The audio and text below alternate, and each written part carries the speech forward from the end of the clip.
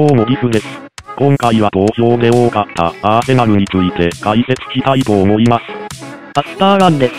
ギフ3個のチームは一体どんな歴史があるんですか？1886年に、スコットランド人のデビッド・ナンスキンと、ウーリッギの15人の軍事労働者が、複合施設のショップで、ダイヤルスクエアフットボールクラブを設立。1886年に、イースタンワンダラーズと初めて、試合をし6対0勝利。1ヶ月後、ロイヤルアーセナルに改名1891年にロンドンで初めてのプロチームとなった。1913年にセカンドディビジョンに降格した。こんなに強いチームでもやっぱり昔は降格を経験しているんですね。1925年、監督にハーバード・チャップマンが来た。彼は新しいアーセナルを作った。まずトレーナーにトム・ウィテカーを任命し、初期の WM システムを採用。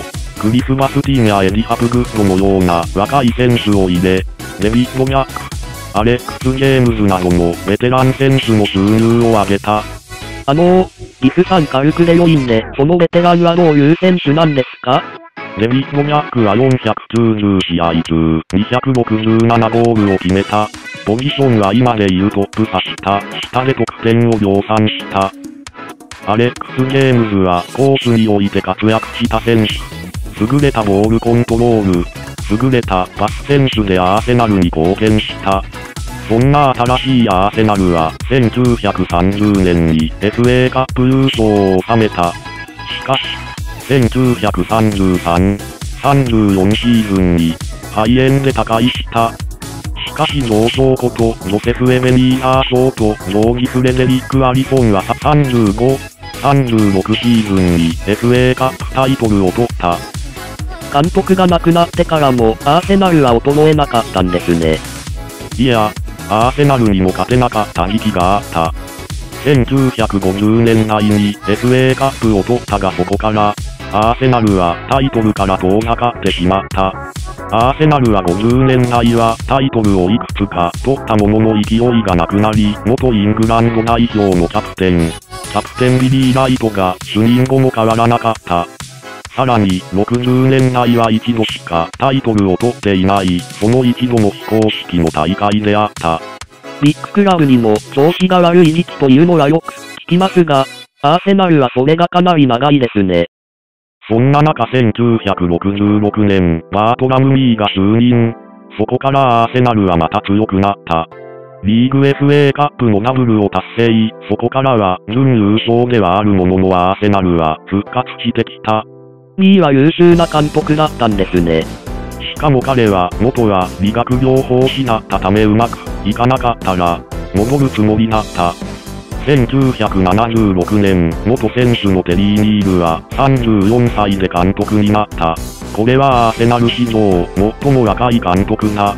マルコム・マクドナルドやパット・ジェニングスを獲得しリアム・ブレイディ、フランク・ステイプルトンのようなタレントで78、79、80シーズンの FA カップ3連覇を見事果たした。若い監督で FA カップ3連覇はなかなかすごいですね。マクドナルドはスーパー、マックの愛称で呼ばれており、ストライカーだった。ジェニングスはイングランド初の1000試合、出場したゴールキーパーだった。この監督も、優秀な選手をチームに呼べる良い監督ですね。1990、91シーズンはなんと1試合しか負けなかった。93年にはリーグカップと優勝。94年にはヨーロッパウィナーズカップ。97、98シーズンに2度目のカップ。リーグタイトル、99、2000シーズンにハウ、エファカップファイナルに進出。2003年、5年に FA カップを獲得3、4シーズンに関しては一度も負けずにプレミアリーグタイトルを獲得。アーセナルは何試合負けなかったんですか ?49 試合無敗記録を達成した。すごいですね。いかがだったでしょうか？アラン久々の登場だったけど、どうだった？アーセナルって優秀な監督が多い印象ですね。選手だけじゃなくて監督のマネジメントの凄さがわかりました。ご視聴ありがとうございました。